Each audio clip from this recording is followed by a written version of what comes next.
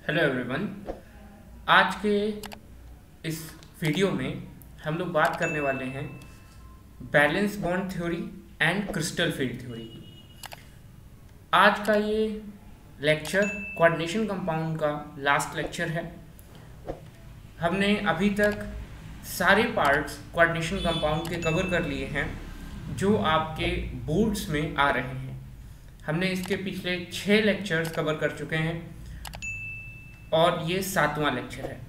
और इसमें हम आज बची दो थ्योरीज जिनको आज हम कवर करेंगे which is valence bond theory and crystal field theory आप लोग बार बार कमेंट कर रहे थे कि सर इन दो थ्योरीज में बहुत ज़्यादा प्रॉब्लम्स है। तो आज इन दोनों थ्योरीज को हम यहाँ पर कवर करेंगे और इस चैप्टर को फिनिश करेंगे। तो आइए स्टार्ट करते हैं हमारा ये लेक्चर सबसे पहले आप सभी लोगों का हमारे इस YouTube चैनल पर बहुत बहुत स्वागत है। अगर आप पहली बार हमारे इस YouTube चैनल को देख रहे हैं, या अगर आपने अभी तक इस चैनल को सब्सक्राइब नहीं किया है तो चैनल को सब्सक्राइब करना बिल्कुल मत भूलें और बेल आइकन को भी ज़रूर हिट करें, जिससे कि आपको नोटिफिकेशन सबसे पहले मिलेगी। हमारे इस वीडियो को लाइक करना बिल्कुल मत भूलें और अपने दोस्तों को शेयर ज़रूर करिए। इसके बारे में अपने दोस्तों को, अपने फ्रेंड्स को, अपने छोटे भाई बहनों को ज़रूर बताइए, जिससे कि वो लोग भी हमारे इस चैनल के साथ जुड़ पाएँ। और आप कमेंट करके ज़रूर बताइए कि आपको ये वीडियो और ये चैप्टर समझ में आया या नहीं। कहीं पर कोई डाउट है, कोई क्वेश्चन है तो आप कमेंट सेक्शन में या मुझे पर्सनली मेल भी कर सकते हैं। मैं आपको वहाँ पर उसका आंसर ज़रूर दूँगा। ठीक है? कुछ बच्चे ये कमेंट करके पूछ रहे हैं कि सर, इसके बाद कौन सा चैप्टर आप स्टार्ट करेंगे? तो इसके बाद मैं ऑर्गेनिक के चैप्टर स्टार्ट करूँगा। और वो मैं पार्ट वाइज नहीं, एक साथ वन शॉर्ट वीडियो आप लोगों के लिए अपलोड करूँगा तो वो ज़्यादा अच्छा रहेगा आप लोगों के लिए, ठीक है? तो क्योंकि इस समय रिवीजन का टाइम है, आप लोग जल्दी, ज़्यादा से ज़्यादा टाइम आप रिवीजन पर दीजिए। इस वजह से मैं लॉन्ग वीडियो ना लगा करके एक शॉर्ट वीडियो जिसमें सारी चीज़ें आपको मैं समझा पाऊँ, ठीक है? तो कोऑर्डिनेशन कंपाउंड चैप्टर चल रहा है पार्ट सेवन है, जिसमें हम लोग पढ़ने चल रहे हैं बैलेंस बॉन्ड थ्योरी और क्रिस्टल फ़ील्ड थ्योरी। आप लोगों को पता होगा कि आपने एक जगह और बैलेंस बॉन्ड थ्योरी पढ़ी है। मैंने आपको बताया था कि जो सॉल्ट होते हैं, ये दो टाइप के होते हैं। मैंने आपको पढ़ाया था, पहला ही लेक्चर अगर आपको याद हो तो आपको पता होगा कि सॉल्ट मैंने बताया था कि दो दो टाइप के होते हैं। एक सॉल्ट होता है सिंपल सॉल्ट, एक को बोलते हैं सिंपल सॉल्ट, और दूसरा होता है मिक्स सॉल्ट। ठीक है? अगर हम इसको फर्दर क्लासिफाइड करें तो ये हो, जा, हो जाता है डबल सॉल्ट और ये हो जाता है कोऑर्डिनेशन कंपाउंड ठीक है? कोऑर्डिनेट तो ये यहाँ पर हमें पढ़ना है। जो पहले हम लोगों ने पढ़ा था वो है सिंपल वाला। ठीक है ना? सिंपल सॉल्ट के बारे में हमने बैलेंस बॉन्ड थ्योरी को पढ़ा है। लेकिन अभी यहाँ पर हमको कोऑर्डिनेट कोऑर्डिनेट के बारे में पढ़ना है। यानी कोऑर्डिनेशन कंपाउंड में हमको बैलेंस बॉन्ड थ्योरी पढ़नी है। ठीक है? तो चलिए स्टार्ट करते हैं। देखिए बैलेंस बॉन्ड थ्योरी क्या कहती है? सबसे पहले यहाँ पर हमको एक कोवेलेंट बॉन्ड का फॉर्मेशन करना है। किस बॉन्ड का? कोवेलेंट बॉन्ड का फॉर्मेशन करना है। कोवेलेंट बॉन्ड फॉर्मे फॉर्म कैसे होता है? इलेक्ट्रॉन्स के शेयरिंग से। जब इलेक्ट्रॉन्स शेयर करते हैं इलेक्ट्रॉन की शेयरिंग होती है तो बॉन्ड का फॉर्मेशन होता है। जैसे हाइड्रोजन और क्लोरीन अगर इसमें बॉन्ड बनना है तो यहाँ पर इसका एक इलेक्ट्रॉन और दूसरा ये इलेक्ट्रॉन इन दोनों में जब शेयरिंग होगी, जैसे हाइड्रोजन यहाँ से शेयरिंग करा और क्लोरीन ने इस तरफ़ से शेयरिंग करी, ठीक है? तो ये जब शेयरिंग हो गई है तो यहाँ से इलेक्ट्रॉन्स का शेयरिंग होने के बाद बॉन्ड का फॉर्मेशन होगा, ठीक है? लेकिन ये जो शेयरिंग हो रही है, ये देखिए यहाँ पर ओवरलैप हो रहा है, ठीक है? तो जो कोवेलेंट बॉन्ड है शेयरिंग का मतलब ओवरलैपिंग ठीक है? ओवरलैपिंग ऑर्बिटल्स में ओवरलैपिंग हो रही है। लेकिन ये चीज़ तो यहाँ पर क्लियर होगी कि जब कोवेलेंट बॉन्ड फॉर्म होता है, वो ओवरलैपिंग के थ्रू ओवरलैपिंग के द्वारा बनता है ऑर्बिटल्स में, ठीक है? लेकिन एक और चीज़ है, वो है हाइब्रिडाइजेशन हाइब्रिडाइजेशन क्या है? ओवरलैपिंग से पहले, जब ओवरलैपिंग हो रही है, उससे पहले इनका इंटरमिक्सिंग कराना ज़रूरी होता है. हाइब्रिडाइजेशन कहता है कि before overlapping inter mixing of orbitals occurs यानी उनका इंटरमिक्सिंग कराना ज़रूरी है ओवरलैपिंग से पहले।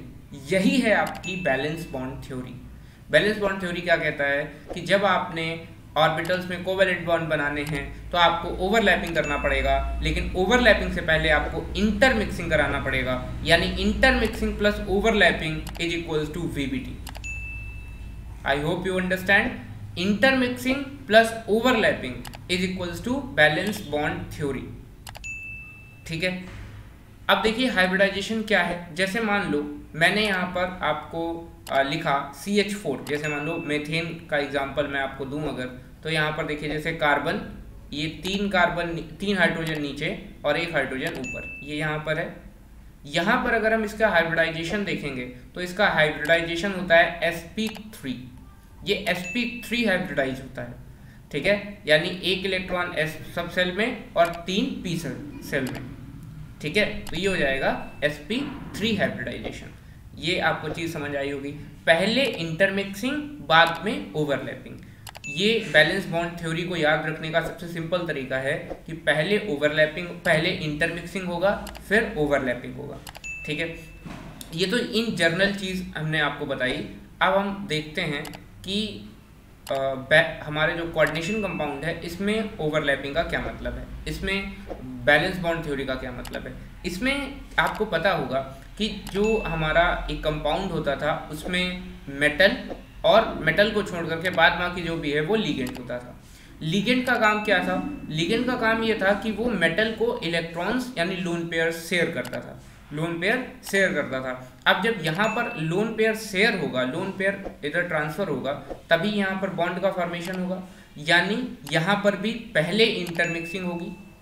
लोन पेयर शेयर करने का मतलब क्या? है ओवरलैपिंग हो रहा है, लेकिन ओवरलैपिंग से पहले इलेक्ट्रॉन्स ओवरलैपिंग से पहले उनका इंटरमिक्सिंग होना ज़रूरी है। ठीक है? तो बैलेंस बॉन्ड थ्योरी आपको समझ में आई कि सबसे पहले ओवरलैप और फिर इंटरमिक्सिंग सॉरी सबसे पहले इंटरमिक्सिंग एंड देन ओवरलैपिंग और इसके द्वारा आपका बनेगा कोऑर्डिनेट बॉन्ड ठीक है? इसके द्वारा कोऑर्डिनेट बॉन्ड बनेगा. अब जैसे कि यहाँ पर देखो शो किया गया है।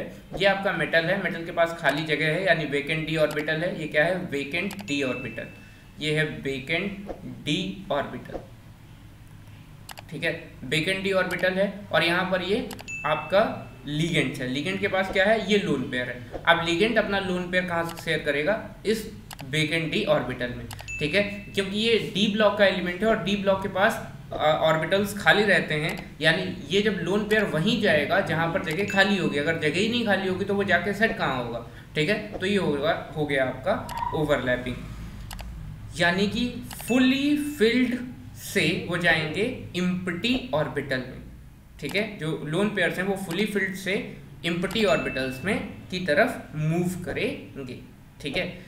अब देखिए लीगेंट्स जो होते हैं, वो दो टाइप में क्लासीफाई होते हैं। दो टाइप्स में उनको हम क्लासीफाई करते हैं। एक होता है स्ट्रॉन्ग फ़ील्ड लीगेंट और दूसरा होता है वीक फ़ील्ड लीगेंट एक होता है स्ट्रॉन्ग फ़ील्ड लीगेंट और दूसरा होता है weak field ligand strong field ligand क्या होता है? जिसके पास, मान लीजिए स्ट्रॉन्ग फ़ील्ड लीगेंट का मतलब ऐसे समझ लीजिए कि जिसके पास बहुत पैसे हैं और उसके पास से अगर कुछ पैसे कहीं गिर भी गए या किसी को दान कर दिए तो उसके ऊपर कोई खास फ़र्क नहीं पड़ेगा। जैसे मान लो किसी के पास एक करोड़ रुपए हैं, मान लो यहाँ पर इसके पास एक करोड़ रुपए हैं और यहाँ पर ये जो दूसरा है, इसके पास सिर्फ़ दस हज़ार रुपये हैं। ठीक है? इसने अगर किसी को एक हज़ार रुपये दान कर दिए, दे दिए तो इसके ऊपर कोई खास फ़र्क नहीं पड़ेगा।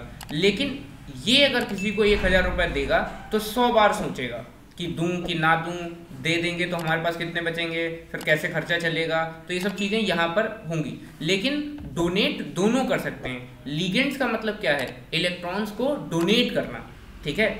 इलेक्ट्रॉन्स को डोनेट करना लोन पेयर को डोनेट करना। लेकिन एक ज़्यादा मात्रा में डोनेट कर सकता है, एक कम मात्रा में डोनेट कर सकता है। तो जो ज़्यादा डोनेट करेगा, वो स्ट्रॉन्ग फ़ील्ड लिगेंट हो जाएगा और जो कम करेगा, वो वीक फ़ील्ड लिगेंट हो जाएगा। आई होप आपको समझ में आया होगा। अब देखिए, जो बैलेंस बॉन्ड थ्योरी है, इसके बारे में कुछ चीज़ें यहाँ पर लिखी हुई हैं। आइए देखते हैं। जो पॉइंट्स अभी तक हमने आपको समझाए हैं, वही पॉइंट्स यहाँ पर लिखे हुए हैं। ठीक है? पहली चीज़ है intermixing of orbitals plus overlapping of orbitals सबसे पहले क्या होगा? इंटरमिक्सिंग होगी ऑर्बिटल्स में एंड देन ओवरलैपिंग होगी. अब जब इंटरमिक्सिंग ओवरलैपिंग हो रही होगी ओवरलैपिंग तभी होगी, यानी इलेक्ट्रॉन शेयर तभी होगा जब किसी के पास जगह खाली होगी। लोन पेयर तभी कहीं पर जा, जाएगा जब किसी के पास जगह खाली होगी। तो सेंट्रल मेटल एटम प्रोवाइड करता है वो वेकेंट डी ऑर्बिटल ठीक है? जहाँ लोन पेयर जा सके। ठीक? These vacant orbitals will hybridize hybridize का मतलब इंटरमिक्सिंग हो रही है, यानी मिक्सिंग हो रही है। ठीक है? यहाँ पर अगला these hybrid orbitals of central metal atom will overlap ये क्या करते हैं? ओवरलैप करते हैं।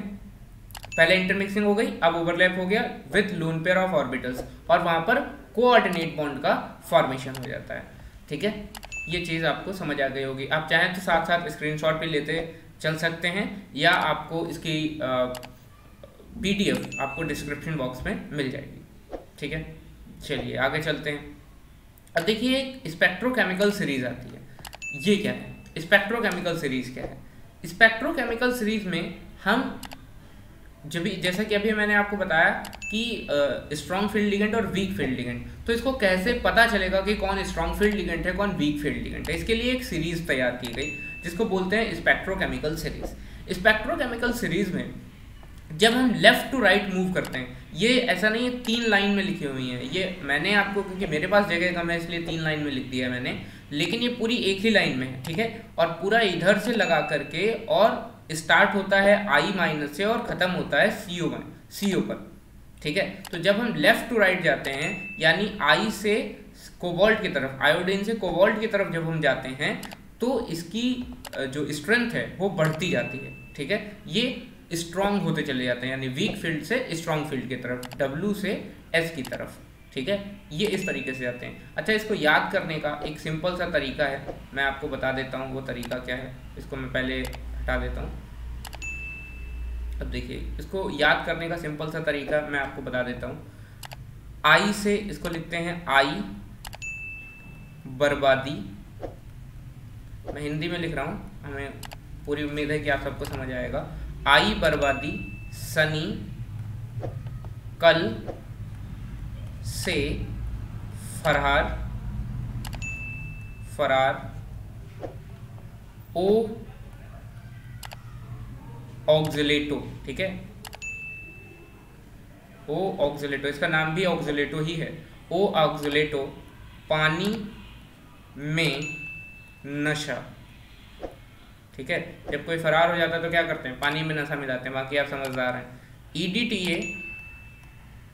and ammonia E D T and ammonia E D T and ammonia इन को इन ये हो गया in in Canada Canada and Colombo in and Colombo.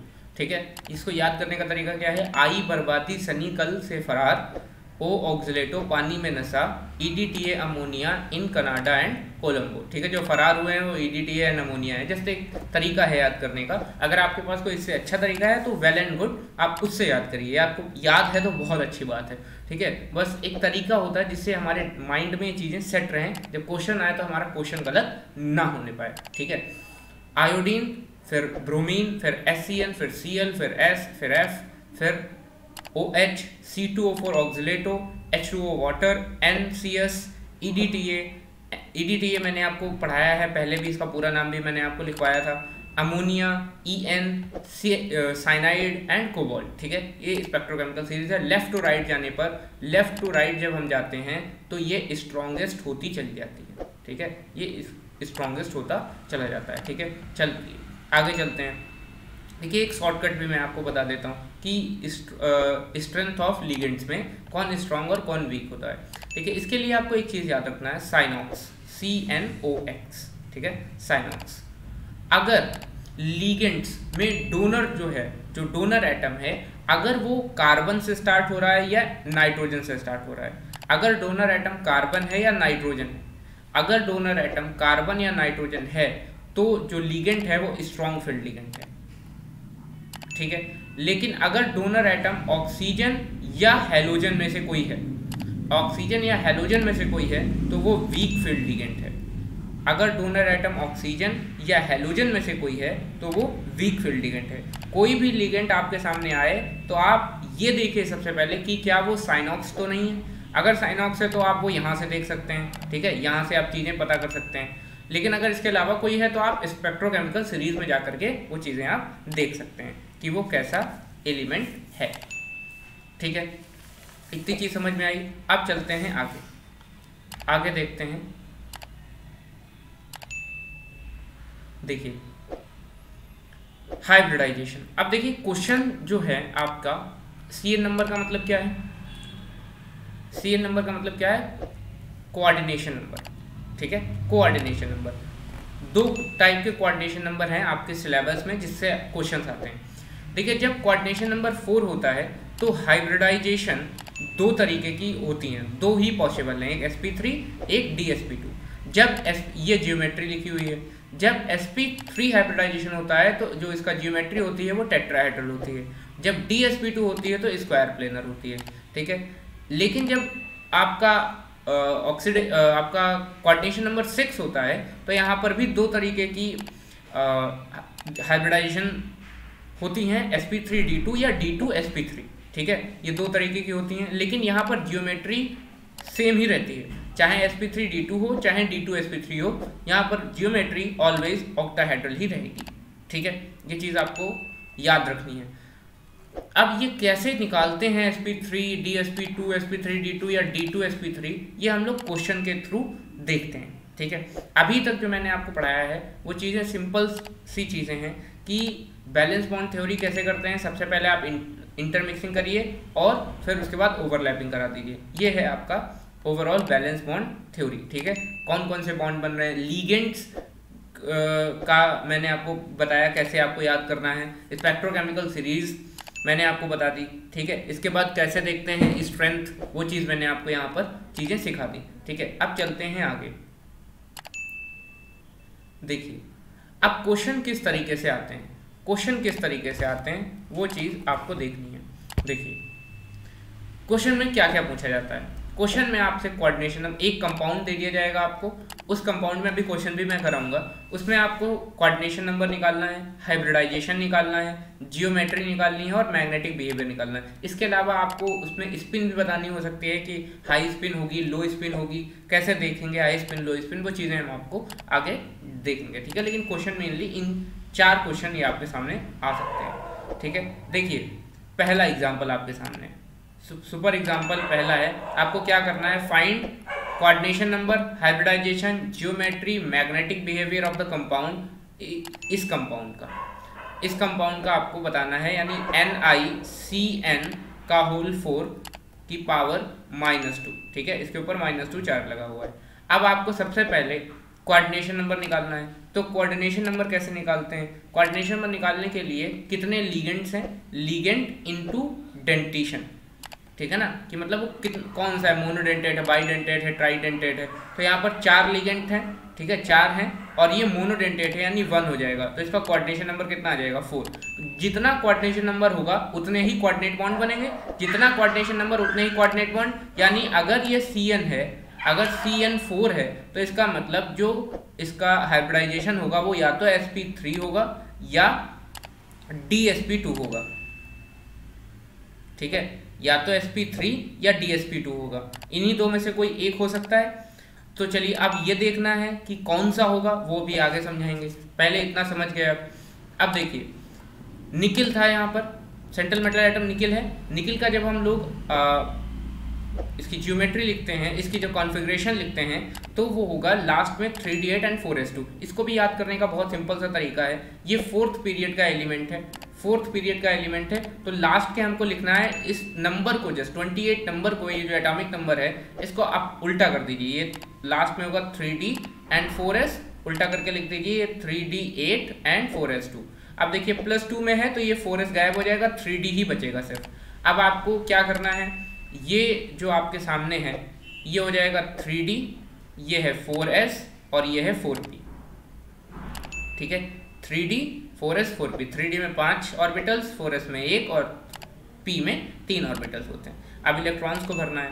अब ये देखना है कि ये स्ट्रॉन्ग फ़ील्ड है या वीक फ़ील्ड है? स्ट्रॉन्ग फ़ील्ड लिगेंट है या वीक फ़ील्ड लिगेंट है? याद रखिएगा, अगर अगर स्ट्रॉन्ग फ़ील्ड लिगेंट होगा, अगर स्ट्रॉन्ग फ़ील्ड लिगेंट होगा तो उसमें पेयरिंग होगी। पेयरिंग होगी, हर हालत में पेयरिंग होगी ही। लेकिन अगर स्ट्रॉन्ग फ़ील्ड लिगेंट नहीं है वीक फ़ील्ड लिगेंट है तो फिर पेयरिंग नहीं होगी। इस चीज़ को याद रखिएगा, अगर स्ट्रॉन्ग फ़ील्ड लिगेंट है तो पेयरिंग होगी, अगर स्ट्रॉन्ग फ़ील्ड लिगेंट नहीं है तो पेयरिंग नहीं होगी। देखिए, यहाँ पर क्या है? सबसे पहले कितने हैं इलेक्ट्रॉन्स एट आठ इलेक्ट्रॉन है। अब भरना चालू करेंगे तो जैसे मान लो, कैसे भरेंगे? ये चीज़ देखिए। एक, दो, तीन, चार और पाँच। अब आठ इलेक्ट्रॉन भरने हैं हमें। एक, दो तीन, चार, पाँच, छ, सात, आठ। आठ हो गया। अब पेयरिंग का मतलब ये जो सिंगल सिंगल इलेक्ट्रॉन्स हैं, ये पेयर करेंगे आपस में। ये यहाँ से यहाँ चला जाएगा शिफ्ट हो जाएगा। पेयरिंग होगी इनमें यहाँ पर। ठीक है? ये पेयर हो गई। अभी यहाँ पर जाकर के पेयर होकर के कुछ ऐसा स्ट्रक्चर बना देंगे। ठीक है? कैसा? ये कुछ इस तरीके का स्ट्रक्चर बना देंगे। मैं आप यहाँ से ये एक्स्ट्रा ड्राइंग हटा देता हूँ। एक सेकेंड। ठीक है? ये चीज़ें मैं यहाँ से हटा दे रहा हूँ, जिससे कि आपको आसानी से समझ आ पाए। ठीक है? अब देखिए।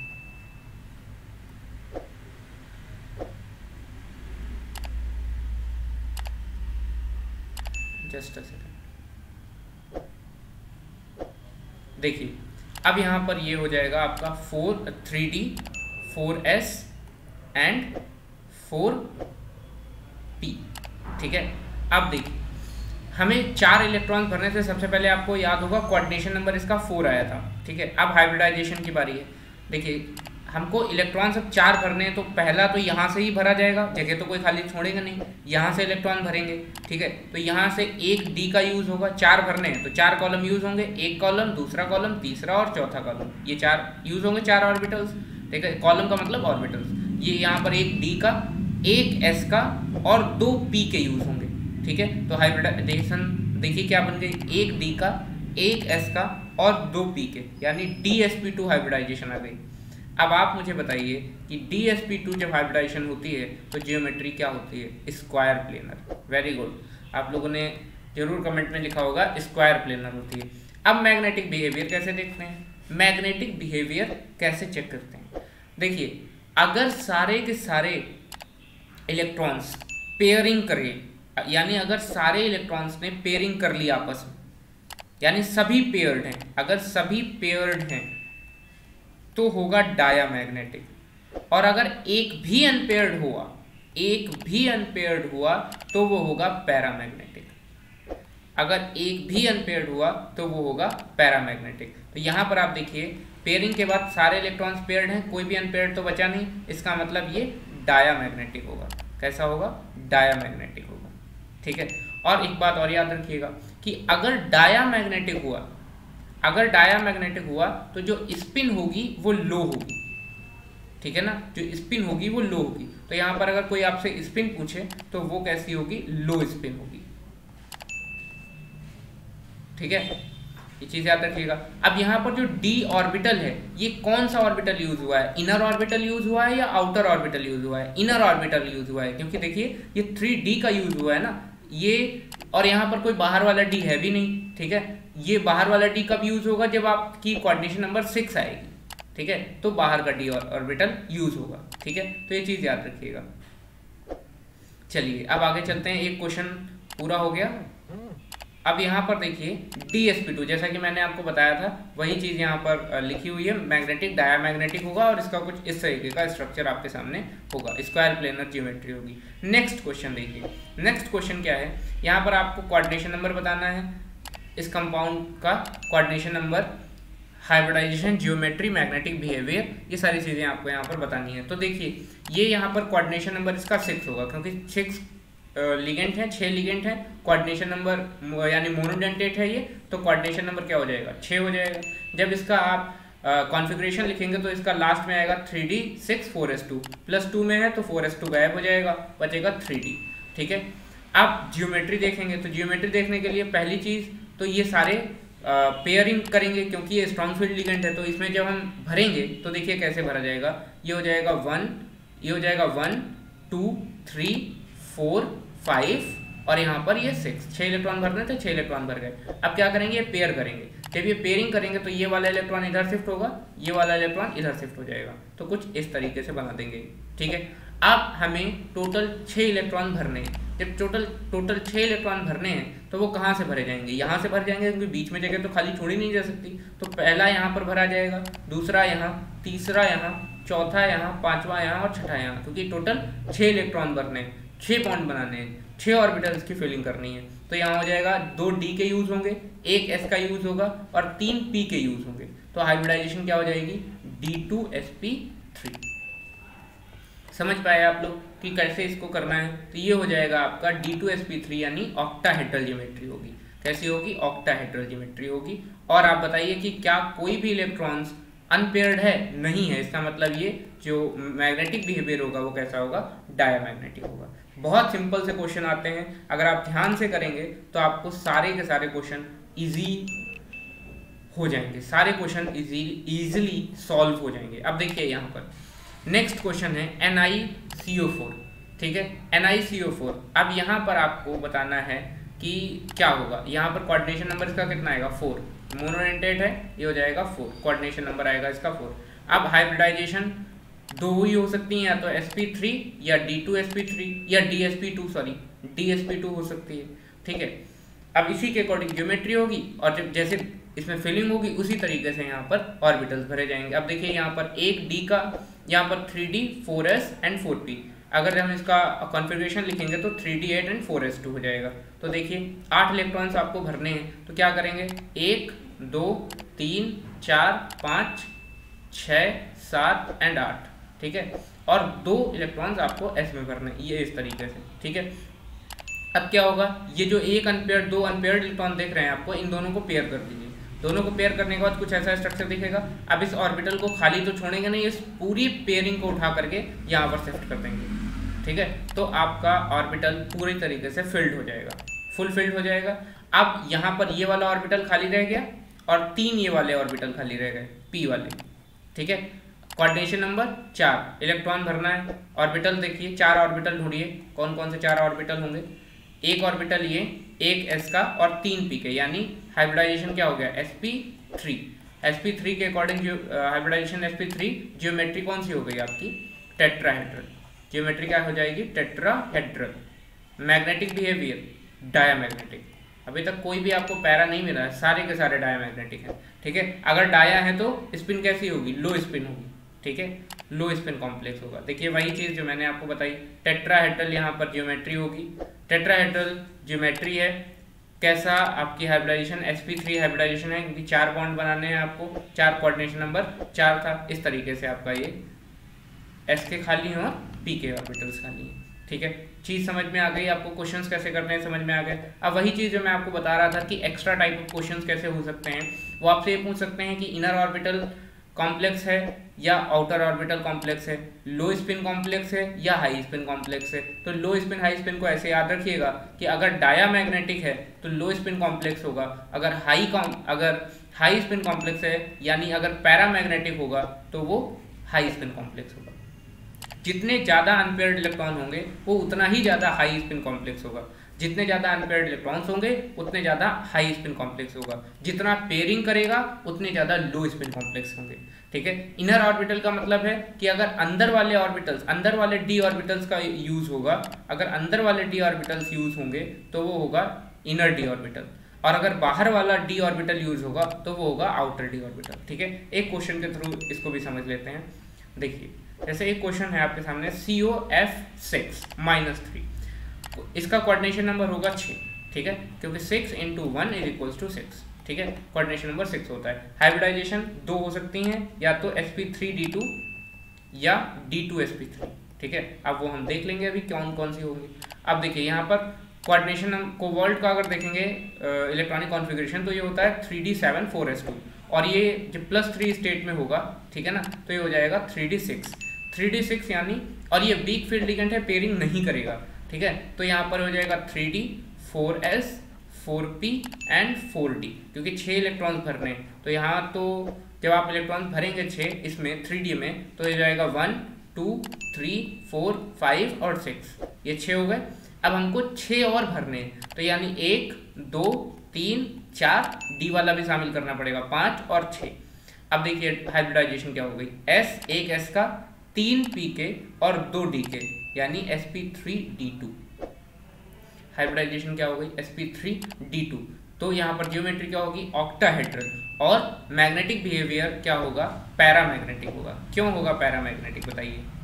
पैरामैग्नेटिक इसलिए होगा क्योंकि ये अनपेयर्ड इलेक्ट्रॉन्स हैं। और अगर अनपेयर्ड इलेक्ट्रॉन्स हैं, अगर पैरामैग्नेटिक है तो स्पिन हाई होगी या लो होगी? हाई स्पिन होगी। क्योंकि जितने ज़्यादा अनपेयर्ड इलेक्ट्रॉन्स होंगे स्पिन उतनी ही हाई होगी। और आप मुझे बताइए कि यहाँ पर अंदर वाले डी ऑर्बिटल का यूज़ किया गया है या बाहर वाले डी ऑर्बिटल का यूज़ किया गया है? बाहर वाले डी ऑर्बिटल का यूज़ किया गया है यानी आउटर ऑर्बिटल कॉम्प्लेक्स है ये। ओके ठीक है? ये जो छह टाइप के क्वेश्चन हैं आई होप आपको क्लियर हो गए होंगे। अगर कोई डाउट है तो प्लीज़ कमेंट में मेंशन करिए। मैं ज़रूर आपके डाउट को क्लियर करूँगा। ठीक है? तो यहाँ पर जो मैंने बताया आउटर ऑर्बिटल कॉम्प्लेक्स और हाई स्पिन कॉम्प्लेक्स ठीक है? चीज़ें समझ में आ गई?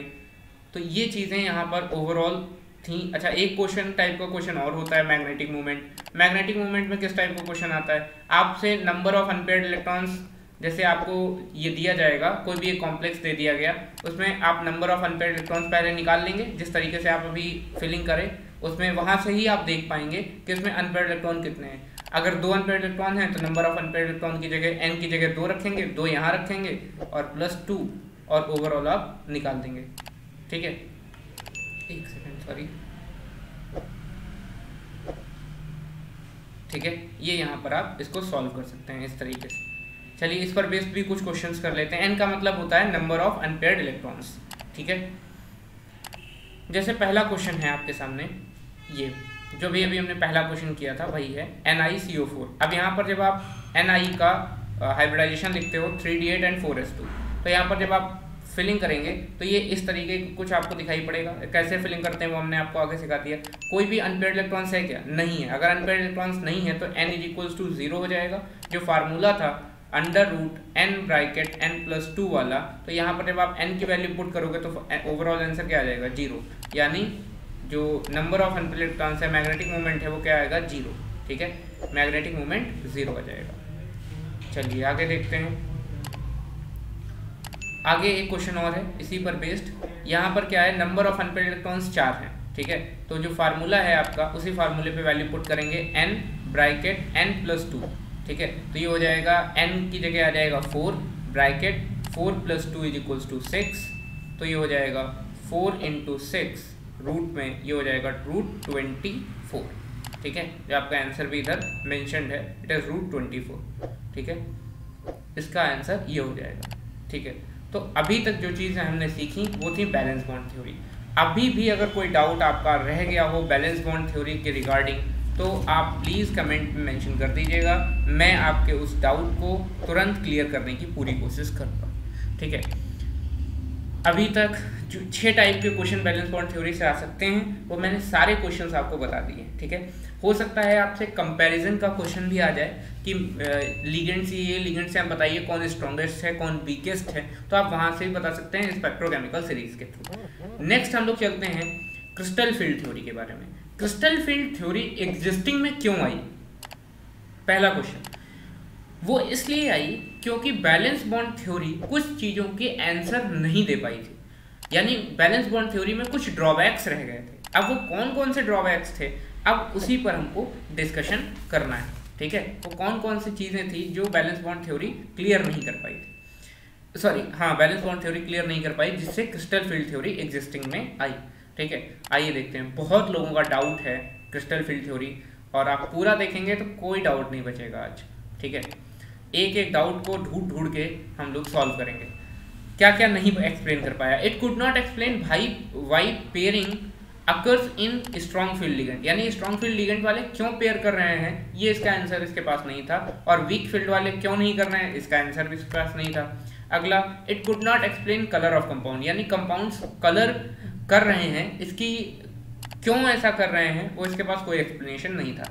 स्पेक्ट्रोकेमिकल सीरीज़ का जो आपने ऑर्डर लगाया है, ये किस बेसिस पे लगाया है? क्यों ये ऑर्डर है?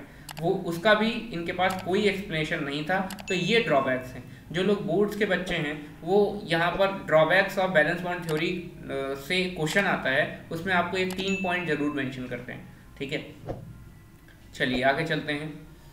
अब देखिए क्रिस्टल फ़ील्ड थ्योरी क्या है crystal field theory crystal field theory कहती है कि हम आयोनिक बॉन्ड बनाते हैं।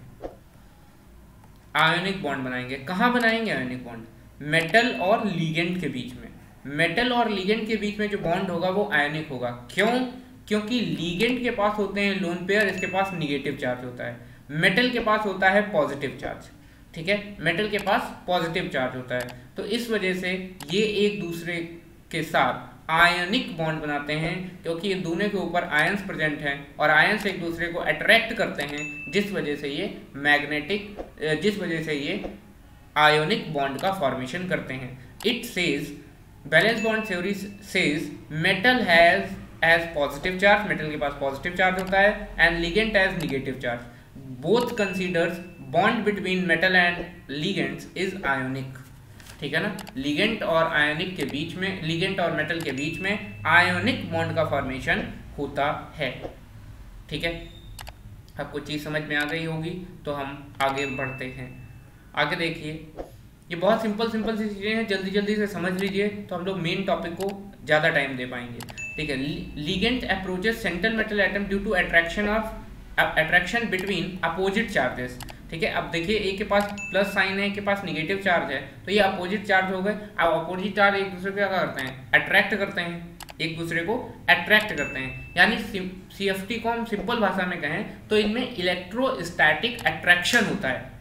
ठीक है? इलेक्ट्रोस्टैटिक अट्रैक्शन होता है। यानी अपोजिट चार्जेस हैं तो एक दूसरे को अट्रैक्ट करेंगे। ठीक है? आपने पढ़ा होगा जब आप लोग डाइपोल वगैरह पढ़ते हो इलेक्ट्रोस्टैटिक फिजिक्स में, ठीक है? तो वहाँ पर आपने पढ़ा होगा इलेक्ट्रोस्टैटिक इंटरेक्शन ठीक है? अब देखिए, यहाँ पर C F T considers electrostatic interaction between ligands यानी negative charge and central metal atom and is as positive charge ठीक है? Next is splitting crystal field splitting अब स्प्लिटिंग का मतलब क्या है? स्प्लिटिंग का मतलब होता है टूट जाना, बिखर जाना। स्प्लिटिंग का मतलब होता है बिखर जाना। अब यहाँ पर कैसे स्प्लिटिंग होती है? यहाँ पर तो एक के पास पॉजिटिव चार्ज एक के पास निगेटिव चार्ज रिपल्सन के थ्रू यहाँ पर होता है रिपल्सन कैसे होता है? जैसे यहाँ पर लिखा है when ligand approaches central metal atom ligands lone pair balance electrons of central metal atom यानी कि इसका मतलब ये है कि जो मेटल होता है और लिगेंट होता है, इनके बीच में रिपल्सन होता है. अब इनके बीच में कैसे रिपल्सन हो गया? इधर तो माइनस साइन है और यहाँ पर प्लस साइन है. ये ऐसे होता है, ये सेंट्रल मेटल एटम ये तो न्यूक्लियस के पास पॉजिटिव चार्ज होता है ना। इसके सराउंडिंग में तो कुछ इलेक्ट्रॉन्स होते हैं। सराउंडिंग में भी तो कुछ इलेक्ट्रॉन्स होते हैं। और जो इसकी ऑर्बिट का आउटर ऑर्बिट में जो इलेक्ट्रॉन होता है, उस इलेक्ट्रॉन और लोन पेयर के इलेक्ट्रॉन्स के बीच में, यानी उसके निगेटिव चार्ज और लोन पेयर के निगेटिव चार्ज के बीच में रिपल्शन होता है। और वो रिपल्शन इतना ज़्यादा होता है कि वो इतना ज़्यादा होता है कि वहाँ पर स्प्लिटिंग हो जाती है। ऑर्बिटल्स टूट जाते हैं। ठीक है? ऑर्बिटल्स टूट जाते हैं। वही लिखा है यहाँ पर कि it is repulsion is huge so splitting of orbitals happens क्यों होता है स्प्लिटिंग ये चीज़ आपको समझ में आई? अगर समझ में आई तो ज़रूर लिखिए नीचे कमेंट में। मुझे ज़रूर बताइएगा कि आपको स्प्लिटिंग समझ में आया है। ठीक है? अब देखिए यहाँ पर आपके सामने मैं बताता हूँ डी ऑर्बिटल्स जो होते हैं डी ऑर्बिटल्स ये पाँच होते हैं। ठीक है? डी ऑर्बिटल्स पाँच होते हैं। According to balance bond theory all the five orbitals of D element यानी five orbitals are of same energy same energy होती है सभी की. इसीलिए इसको डी जनरेटिंग ऑर्बिटल्स भी बोलते हैं, ठीक है? इसी वजह से इसको डी जनरेटिंग ऑर्बिटल्स भी बोलते हैं. अब ये पाँच ऑर्बिटल्स हैं, इसको याद कैसे करते हैं? सबसे बड़ा कठिन समस्या तो यही है कि इसको याद कैसे करते हैं? बिना ये नाम याद किए आपको बहुत प्रॉब्लम होगी, क्योंकि अगर ये नाम याद नहीं होंगे नीचे वाले तो आपको समस्या हो सकती है. तो इसको याद करने का एक सिंपल सा तरीका मैंने आपके लिए लाया है. देखिए, पाँचों हैं और पाँचों में डी कॉमन है तो सब जगह डी लिख दीजिए। D D D and D अब याद कैसे करना है? अब देखिए, सबसे पहले x x के बाद y y के बाद z फिर इधर z के बाद एक्स स्क्वायर और अब यहाँ पर y नहीं जेड स्क्वायर बस यहीं पे याद रखना है एक आपको, ठीक है? जेड स्क्वायर अब आपको क्या करना है? अब x के बाद बताइए क्या आता है? Y आता है। Y के बाद क्या आता है? Z आता है। और z के बाद a नहीं, x आएगा। ठीक है? Z के बाद एक्स आएगा और वाई स्क्वायर है एक्स स्क्वायर है, इसलिए यहाँ पर एक्स के बाद आएगा वाई स्क्वायर देखिए, याद करने का बहुत सिंपल तरीका है, इससे सिंपल तरीका कोई नहीं हो सकता इसको याद करने का, ठीक है? दो बार बनाएँगे, अपने आप याद हो जाएगा, ठीक है? तो यहाँ पर ये होता है डी जनरेटिंग ऑर्बिटल्स का मतलब क्या है? मैंने आपको याद करने का बहुत सिंपल तरीका बताया है, इससे सिंपल तरीका नहीं हो सकता। When all orbitals are on same energy level it is called degenerating orbitals ठीक है? जब सभी के पास सेम एनर्जी होती है तो उसे क्या बोलते हैं? डीजनरेटिंग ऑर्बिटल्स बोलते हैं। अब देखिए, यहाँ पर जो फ़र्स्ट थ्री ऑर्बिटल्स हैं, यानी D X Y D Y Z और डी एक्स जेड ठीक है? D Y Z and D Z X ये जो तीन होते हैं, ये बिटवीन द एक्सेस होते हैं। ये लाई करते हैं बिटवीन द एक्सेस और बचे दो, ये जो हैं, ये ऑन द एक्सेस लाई करते हैं। ठीक है? ये कैसे होते हैं? अगली ही स्लाइड में मैं आपको बता रहा हूँ। ये आपको याद रखना बहुत ज़रूरी है, ठीक है? इसके बिना काम नहीं चलेगा। देखिए lobes present between the axes अब देखिए, यहाँ पर क्या है? दो एक्सिस प्रेजेंट है, ये देखिए, ये एक एक्सिस है वाई एक्सिस और ये एक एक्सिस है एक्स एक्सिस ठीक है, ये एक्स एक्सिस है, ये वाई एक्सिस है. एक्स एक्सिस और वाई एक्सिस के बीच में ये देखिए प्रेजेंट है. बिटवीन द एक्सिस ये देखिए, ठीक है? डी एक्स वाई है. अगला देखिए, ये जेड एक्सिस है और ये वाई एक्सिस है. ठीक है? तो अब यहाँ पर जेड और वाई के बीच में प्रेजेंट है, ठीक है? तो it is D Z Y D Y Z और अगला क्या है? डी जेड एक्स ठीक है? डी जेड एक्स यहाँ पर ये दो एक्सिस हैं, ये एक्स एक्सिस है और ये जेड एक्सिस है। ये डी जेड एक्स एक्सिस के बीच में प्रेजेंट है। इस वजह से ये बिटवीन द एक्सिस कहे जाते हैं, ठीक है? ऑन द एक्सिस का मतलब क्या होगा? अब आप समझ गए होंगे ऑन द एक्सिस का मतलब एक्सिस पर ही प्रेजेंट हो जाते हैं। ये जो लोब्स हैं, ये एक्सिस पर प्रेजेंट होते हैं। देखिए, ये देखिए। Present on the axis on the axis ये देखिए ये देखिए, ये एक्सिस के ऊपर प्रेजेंट होते हैं ये। तो इस वजह से ये क्या कहलाते हैं? ऑन द एक्सिस और ये वाले between the axis between the axis ठीक है? इतनी चीज़ समझ में आ गई क्रिस्टल फ़ील्ड थ्योरी की। अब आगे चलते हैं। अब देखिए क्रिस्टल फ़ील्ड थ्योरी में स्प्लिटिंग जो हो रही है, वो उसको कैसे याद रखते हैं? अब देखिए, यहाँ पर ऑक्टाहेड्रल और टेट्राहेड्रल का केस बनता है। ऑक्टाहेड्रल और टेट्राहेड्रल क्या होता है ऑक्टाहेड्रल टेट्राहेड्रल में? मैं आपको बताता हूँ। देखिए, ये पाँच ऑर्बिटल्स थे हमारे पास। स्प्लिटिंग होके तीन अलग, दो अलग हो गए। अब देखिए, जहाँ पर ये जो तीन है, ये देखिए, ये तीन और ये दो। ठीक है? जो दो होते हैं, ये दो वाले, ये ऑन द एक्सिस है, ये ऑन द एक्सिस और जो ये है, ये बिटवीन द एक्सिस है बिटवीन द एक्सिस ठीक है? अब एक में देखिए, ये वाले ऊपर हैं, यानी ऑन द एक्सिस वाले ऊपर हैं बिटवीन द एक्सिस वाले नीचे हैं, यहाँ पर बिटवीन द एक्सिस वाले ऊपर हैं ऑन द एक्सिस वाले नीचे हैं। ये क्या तरीका है? इसको कैसे याद रखते हैं? ये सिंपल चीज़ है जब ऑक्टाहेड्रल होता है केस जब ऑक्टाहेड्रल का होगा ऑक्टाहेड्रल तो ऑन द एक्सिस वाले जो ऑर्बिटल्स हैं, वो ऊपर होते हैं। ऑन द एक्सिस वाले ऊपर होते हैं। देखिए, तरीका बहुत सिंपल जब एक्सिस ऑन द ऑक्टाहेड्रल का होगा ऑक्टाहेड्रल में क्या आता है? ओ ऑन द एक्सिस स्टार्ट होता है ओ अरे, ये तो कमाल ही हो गया। सिंपल सी ट्रिक हो गई। ऑक्टाहेड्रल में ओ आता है ऑन द एक्सिस में ओ आता है। यानी ऑक्टाहेड्रल को जब सॉल्व करेंगे तो ऑन द एक्सिस वाले ऊपर और बिटवीन द एक्सिस वाले नीचे। जस्ट इसका अपोजिट कर दीजिए टेट्राहेड्रल का केस हो जाएगा। टेट्राहेड्रल में क्या होगा? बिटवीन द एक्सिस वाले ऊपर और ऑन द एक्सिस वाले नीचे। याद हो गया ना? बहुत सिंपल तरीका है। इससे सिंपलेस्ट तरीका नहीं हो सकता चीज़ों को समझने का। ठीक है? थोड़ा सा दिमाग लगाइए चीज़ें आसान हो जाएँगी आपके लिए। ये जो चीज़ें कट टफ लगती हैं वो चीज़ें आप, आपके लिए आसान हो जाएँगी। देखिए ऑक्टाहाइड्रल ऑक्टाहाइड्रल में क्या है? ऑन द एक्सिस वाले ऊपर और बिटवीन द एक्सिस वाले नीचे। ऑन द एक्सिस वाले ऊपर और बिटवीन द एक्सिस वाले नीचे। अब ऑन द एक्सिस में कौन कौन था? लास्ट के टू लास्ट के टू में क्या था? D X square Y square और डी जेड स्क्वायर ठीक है? यही देखो। यहाँ पर D X square Y square D Z square अब इसके बाद यहाँ पर क्या था? D X Y D Y Z और डी जेड एक्स ये तीन थे, यहाँ पर ये बिटवीन द एक्सेस वाले। चीज़ें समझ में आ गई? बहुत आसान आसान चीज़ें हैं। आप लोग बस दिमाग थोड़ा सा खोल करके बैठिए, चीज़ें बहुत आसान हो जाएँगी। अच्छा टेट्राहेड्रल का नहीं दिया है, कोई बात नहीं, आगे हम लोग इसको डील कर लेंगे। अब देखिए, ये जो चीज़ें दी हैं एनर्जी इन्हीं से क्वेश्चन सॉल्व होगा। इसको कैसे याद रखेंगे? हर एक तरीका है आपको याद रखने का। आप स्टडी पॉइंट पर पढ़ रहे हैं, आपको चीज़ें बहुत आसान मिलेगी। देखिए, इसको कैसे याद रखते हैं? देखिए, यहाँ पर दो ऑर्बिटल अच्छा एक चीज़ और समझ लीजिए, यहाँ पर दो ऑर्बिटल हैं तो यहाँ पर दो अक्षर ही हैं e अब ये ईजी और टी टू जी क्या है, इसको समझने की ज़रूरत नहीं, बस आप याद कर लीजिए इसको, ठीक है? ये एक ऐसी चीज़ है जो मैं आपसे कह रहा हूँ, याद कर लीजिए। इसको डीप में जाना आपके लिए ठीक नहीं है, क्योंकि ये बहुत अपर लेवल की चीज़ें हैं, इस वजह से मैं आपको बताना नहीं चाहता, ठीक है? तो अगर दो ऑर्बिटल हैं तो ईजी दो ऑर्बिटल दो अक्षर, अरे वाह! अब यहाँ पर देखिए, तीन ऑर्बिटल एक, दो, तीन तो यहाँ पर टी टू जी तीन अक्षर टी टू जी अगर तीन ऑर्बिटल तो तीन अक्षर, ठीक है? तीन लेटर और दो ऑर्बिटल तो दो लेटर ईजी e दो ऑर्बिटल तीन ऑर्बिटल टी टू जी कमाल ही हो गया ये तो। इतनी आसान आसान तरीका। कैसे? कैसे इतना आसान हो सकती हैं चीज़ें? ठीक है? अब देखिए। ये तो मैंने आपको बता दिया कि कैसे आपको इनको याद रखना है। चलिए, आप आगे देखते हैं। अब देखिए, यहाँ पर अगर दो ऑर्बिटल हैं देखिए, सबसे पहले आपको क्या करना है, जो ऊपर वाला है, जो ऑर्बिटल ऊपर होगा, उसके लिए पॉजिटिव, और जो नीचे है, इसके लिए निगेटिव, ठीक है? जो ऊपर है, उसके लिए पॉजिटिव साइन, जो नीचे है, इसके लिए निगेटिव साइन। अब आप क्या करिए, दोनों के अपॉन में फाइव लिख दीजिए। इधर भी फाइव और इधर भी फाइव हो गया?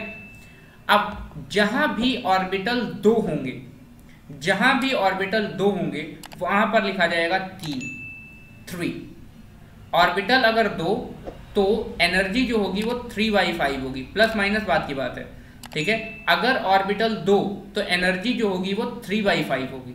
लेकिन अगर ऑर्बिटल तीन है तो यहाँ पर एनर्जी टू बाई फाइव होगी। अगर तीन बारे ऑर्बिटल ऊपर है, यानी अगर केस ऑक्टाहेड्रल का है तो ऊपर होगा थ्री बाई फाइव प्लस का, और नीचे होगा माइनस टू बाई फाइव और ओवरऑल जो होगा वो थ्री डी क्यू ही होगा। ओवरऑल जो होगा वो थ्री डी क्यू ही होगा।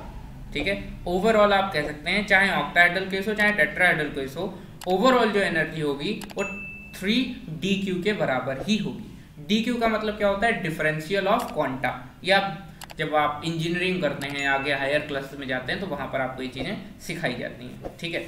ये चीज़ आप समझ गए होंगे कि ये डी क्यू क्या है। ठीक है?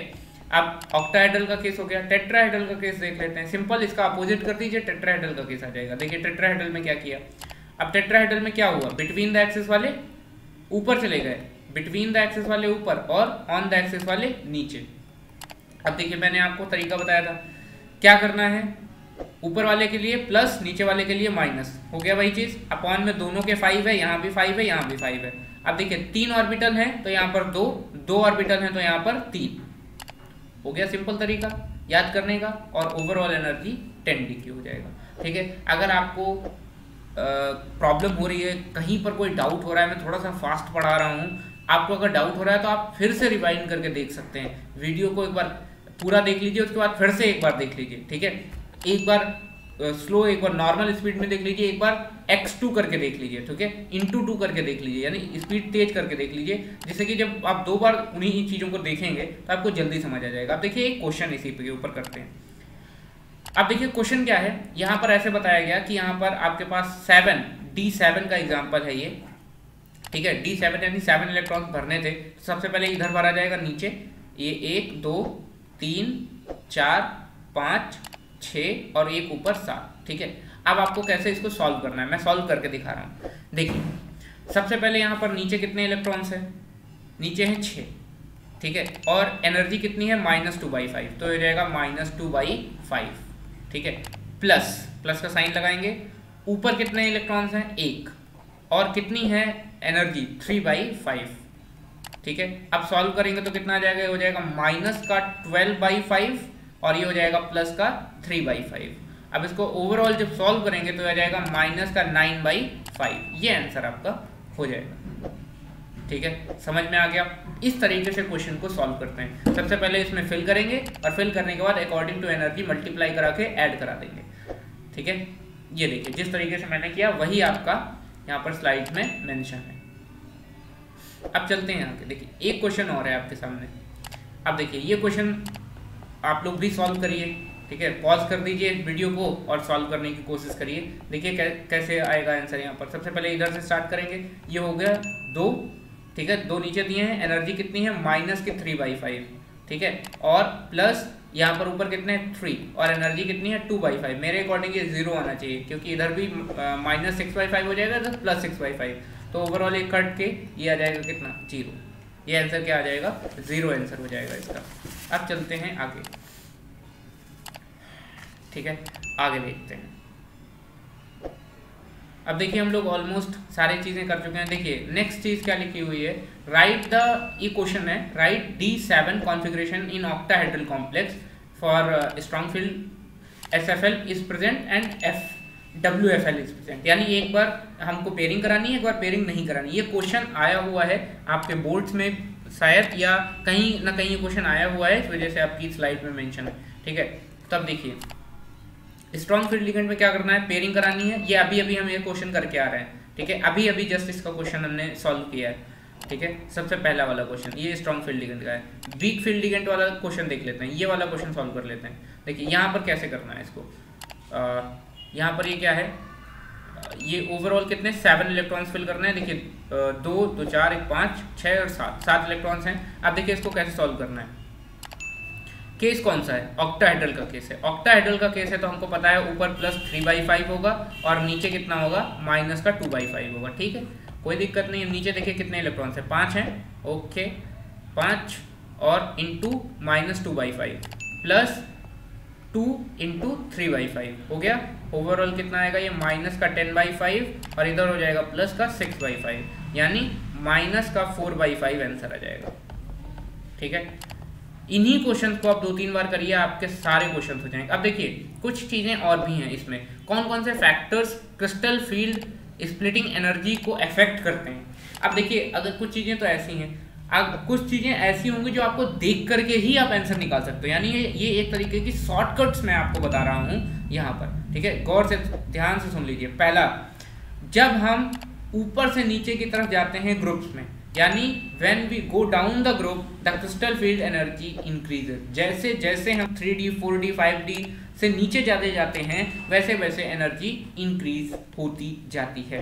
पहला पॉइंट दूसरा पॉइंट पहला पॉइंट ये हो गया। दूसरा पॉइंट क्या कहता है? दूसरा पॉइंट ये कहता है कि when crystal field energy of octahedral and crystal field energy of tetrahedral अगर इन दोनों का केस आ जाए तो ऑक्टाहेड्रल में एनर्जी ज़्यादा होती है टेट्राहेड्रल में कम होती है। शॉर्टकट्स हैं नोट करते चलिए इन सबको, ठीक है? अब देखिए आगे। थर्ड केस थर्ड केस क्या कहता है कि crystal field splitting energy is directly proportional to oxidation number of central metal atom यानी कि क्रिस्टल फ़ील्ड एनर्जी अगर सारी केसेस सेम हैं, सारी चीज़ें सेम हैं और ऑक्सीडेशन नंबर में डिफरेंस आ रहा है तो वो ऑक्सीडेशन नंबर पर डिपेंड करेगा। जिसका ऑक्सीडेशन नंबर ज़्यादा, उसकी S F S F S C यानी क्रिस्टल फ़ील्ड स्प्लिटिंग एनर्जी ज़्यादा। ठीक है? अब अगला चीज़। अगर स्ट्रॉन्ग फ़ील्ड लिगेंट है तो एनर्जी ज़्यादा होगी, और अगर वीक फ़ील्ड लिगेंट है तो एनर्जी कम होगी। अगर दोनों में कंपेयर करा दिया जाए strong field ligand weak field ligand में तो आप स्ट्रॉन्ग फ़ील्ड लिगेंट को ज़्यादा, उसकी एनर्जी होगी और वीक फ़ील्ड लिगेंट की कम होगी। एग्ज़ाम्पल आपके सामने दिया है। फोर्थ ये चार चीज़ें आपके सामने हमने बताई। पहला, अगर ऊपर से नीचे जाओगे तो एनर्जी इंक्रीज होगी। जो एनर्जी है, वो ऑक्सीडेशन नंबर पर डिपेंड करती है। अगर स्ट्रॉन्ग फ़ील्ड लिगेंट होगा तो एनर्जी ज़्यादा होगी एनर्जी इंक्रीज करेगी। और अगर डब्ल्यू एफ़ एल होगा तो एनर्जी डिक्रीज होगी। फोर्थ पॉइंट इज़ ऑक्टाहेड्रल में एनर्जी ज़्यादा होती है और टेट्राहेड्रल में एनर्जी कम होती है। ये चार पॉइंट्स हैं। आगे है कलर का खेल। Colour of complex colour of complex अगर कंपाउंड में अनपेयर्ड इलेक्ट्रॉन्स हुए, अगर कंपाउंड में अनपेयर्ड इलेक्ट्रॉन्स हुए अनपेयर्ड इलेक्ट्रॉन्स हुए, यानी अगर कंपाउंड पैरामैग्नेटिक हुआ तो वो कलर शो करेगा हंड्रेड परसेंट शो करेगा। ठीक है? अगर उसमें अनपेयर्ड इलेक्ट्रॉन्स हुए तो वो कलर शो करेगा। ठीक है? अब होता क्या है? कैसे कलर शो होता है? अनपेयर्ड इलेक्ट्रॉन्स नेचर से एनर्जी को एब्जॉर्ब करता है। अनपेयर्ड इलेक्ट्रॉन्स नेचर से एनर्जी को एब्जॉर्ब करता है और एब्जॉर्ब करके एक्साइट हो जाता है। एब्जॉर्ब करके एक्साइट होता है। ये जैसे इलेक्ट्रॉन्स है, इसने नेचर से एनर्जी को एब्जॉर्ब किया और एक्साइट होकर के चला गया इस वाले ऑक्सीडेशन इस वाली ऑर्बिटल में। ठीक है? एनर्जी एब्जॉर्ब किया एक्साइट हो गया और यहाँ पर चला गया। लेकिन ये एनर्जी इसकी परमानेंट तो है नहीं, ये जब यहाँ जाएगा तो अनस्टेबल रहेगा। स्टेबल तो रहेगा नहीं क्योंकि एक टाइम तक ही तो यहाँ रह सकता है एनर्जी खत्म, तुरंत अपने फिर नीचे आ जाएगा। यानी जैसे मान लो आपको किसी ने पैसे दे दिए बहुत सारे, अब आपको जब पैसे दे दिए तो आप कहाँ जाएँगे? दौड़ते दौड़ते मॉल चले गए। अब लेकिन एक लिमिटेड अमाउंट में ही तो पैसा है, पैसा खत्म, आप घर आ गए। तो यही चीज़ है मॉल में आप क्या है? अनस्टेबल है। तो यही चीज़ यहाँ पर है, जब आप यहाँ पर है, इसको पैसा मिल गया तो ये यहाँ पर अनस्टेबल है। अब धीरे धीरे एनर्जी खत्म होगी और ये फिर से वापस आ जाएगा, ठीक है?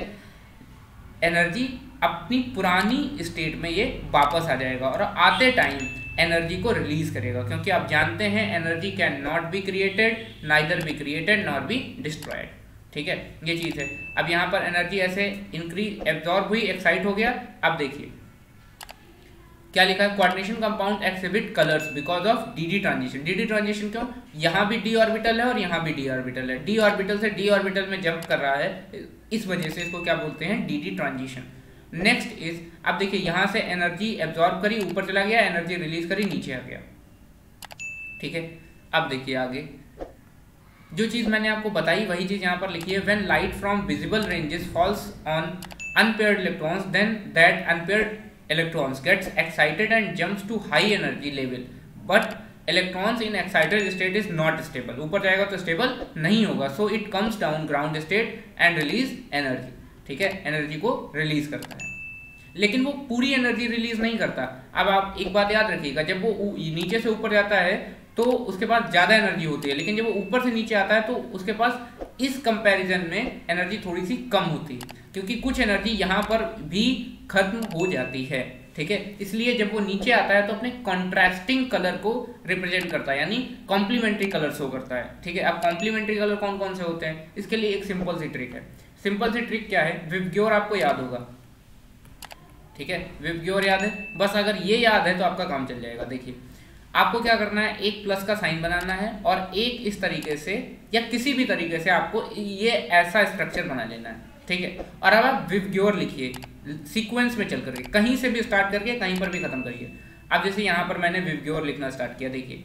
वी आई नहीं लिखेंगे आप। आई नहीं लिखेंगे। V B G Y O R ये सब एक दूसरे के कॉम्प्लीमेंट्री कलर हैं। जो एरो के सामने आमने सामने लिखे हैं, ये एक दूसरे के कॉम्प्लीमेंट्री कलर हैं। वायलेट का कॉम्प्लीमेंट्री है येलो ब्लू का कॉम्प्लीमेंट्री है ऑरेंज और ग्रीन का कॉम्प्लीमेंट्री है रेड अभी मैं एक क्वेश्चन भी कराऊँगा आपके सामने। देखिए वायलेट का कॉम्प्लीमेंट्री येलो ब्लू का कॉम्प्लीमेंट्री ऑरेंज ग्रीन का कॉम्प्लीमेंट्री रेड अब देखिए, इस पर क्वेश्चंस कैसे आते हैं? सिंपल से क्वेश्चन कराता हूँ मैं।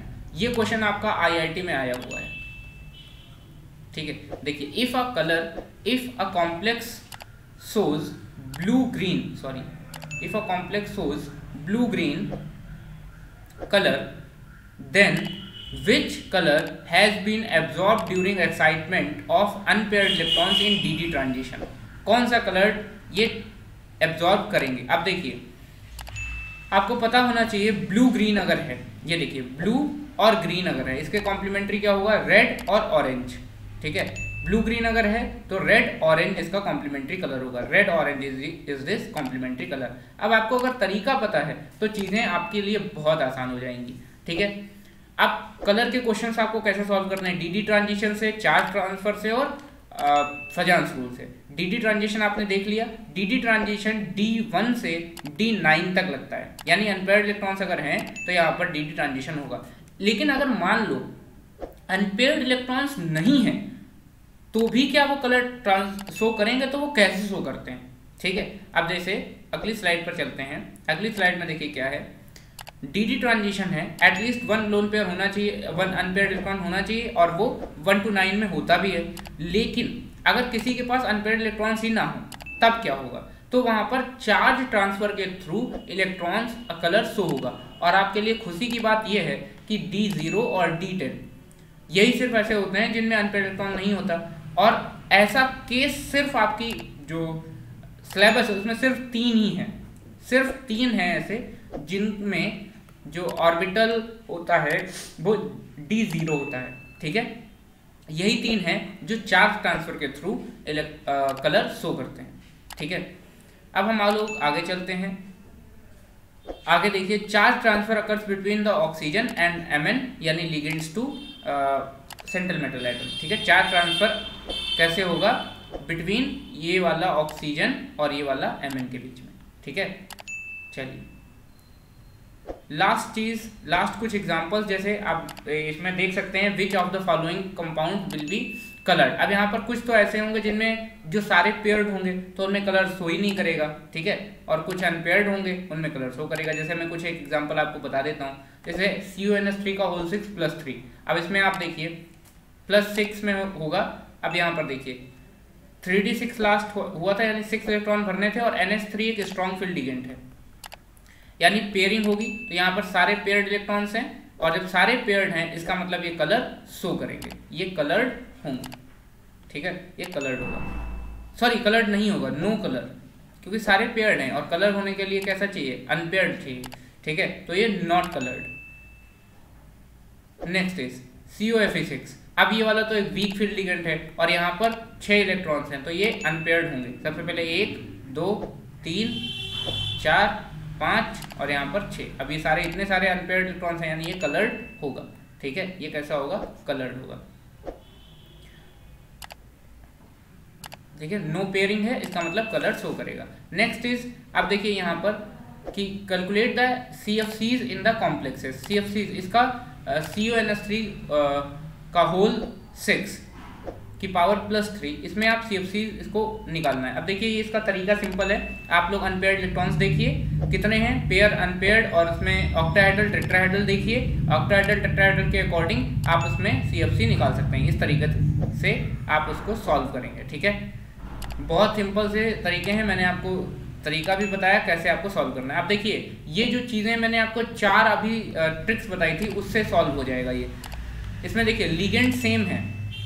लीगेंड सेम है और यहाँ पर ये आपके जो पीरियड्स हैं, जो आपके, यानी ग्रुप्स हैं, वो यहाँ पर अलग अलग हैं। ये एक थर्ड, एक फोर्थ का है, एक थ्री डी का है, एक फोर डी का है, एक फाइव डी का है। तो आपको पता है जैसे जैसे आप ऊपर से नीचे जाएँगे, ये यहाँ पर इनकी एनर्जी जो है वो इंक्रीज होती जाएगी। तो यहाँ पर सबसे पहले आएगा थर्ड, फिर सेकेंड, फिर फ़र्स्ट, ठीक है? ये देखिए। ये क्वेश्चन हो गया। अगली बार एक क्वेश्चन और है। इसमें हम क्या करेंगे? सेंट्रल मेटल आइटम को सेम रखेंगे और लीगेंड चेंज कर देंगे। अब क्या होगा? सेंट्रल मेटल आइटम सेम है। सभी में सी आर है क्रोमियम लेकिन लीगेंड सेम है। अब आपको कहाँ जाना पड़ेगा? अब आपको जाने, जाना पड़ेगा स्पेक्ट्रोकेमिकल सीरीज़ में। स्पेक्ट्रोकेमिकल सीरीज़ में आपको जाना पड़ेगा सी एस सीज में। ठीक है? तो वहाँ उसके अकॉर्डिंग क्या होगा? सबसे पहले आएगा फोर्थ ठीक है? सबसे पहले फोर्थ साइनाइड सबसे ज़्यादा स्ट्रांग होता है। फिर उसके बाद आएगा आपका अमोनिया, फिर उसके बाद आएगा वाटर एंड वाटर के बाद आएगा क्लोरीन ठीक है? ये आपका सिंपल सा तरीका है इसको निकालने का, ठीक है? अब देखिए, दो लास्ट स्लाइड हम लोग इसकी कर रहे हैं। फाइनली हमारा चैप्टर फिनिश हो गया है, बस इस स्लाइड के बाद। Stability of coordination compound stability कैसे चेक करते हैं? अगर लीगेंड सेम हो सेंट्रल मेटल आइटम चेंज हो और लीगेंड सेम हो, तब स्टेबिलिटी कैसे देखते हैं? तो हम क्या करते हैं? स्टेबिलिटी को देखते हैं चार्ज सेंट्रल मेटल एटम के ऊपर चार्ज ठीक है? या सेंट्रल मेटल एटम का साइज़ अगर जो स्टेबिलिटी होती है वो चार्ज के डायरेक्टली प्रोपोर्शनल होती है सेंट्रल मेटल एटम के और साइज़ के इन्वर्सली प्रोपोर्शनल होती है. सेम केस अगर सेंट्रल मेटल एटम को सेम कर दें और लिगेंड को अलग कर दें तो यही same charge charge of ligand देखेंगे और साइज़ ऑफ़ लिगेंड देखेंगे. ठीक है? ये आपका सिंपल सा तरीका था. सो so, एक बहुत बड़े चैप्टर बहुत इंपॉर्टेंट चैप्टर को आज हमने फिनिश किया है। So thank you very much अगर आपने आ, अभी तक इतना देखा है तो इसके लिए थैंक यू सो मच आप लोग वाकई में एक सेलेक्ट होने वाले स्टूडेंट हैं टॉप करने वाले स्टूडेंट हैं ठीक है? तो यहाँ पर आप लोग सब्सक्राइब ज़रूर कर लीजिए लोगों को ज़रूर बताइए बेल आइकन को हिट कर दीजिए वीडियो को लाइक करना बिल्कुल मत भूलिए और कमेंट तो यार ज़रूर कीजिए। इतनी मेहनत आप लोगों के लिए की जाती है स्लाइड्स तैयार की जाती हैं। यहाँ पर एक एक डेढ़ घंटे के लेक्चर्स आपके लिए होते हैं तो आप ज़रूर कमेंट करके बताइए कि कैसा लगा आपको और अपने दोस्तों तक और ऐसे लोगों तक जो कोचिंग अफोर्ड नहीं कर सकते, उनको तक ये वीडियो ज़रूर पहुँचाइए। थैंक यू वेरी मच मिलते हैं नेक्स्ट वीडियो में, तब तक के लिए टेक केयर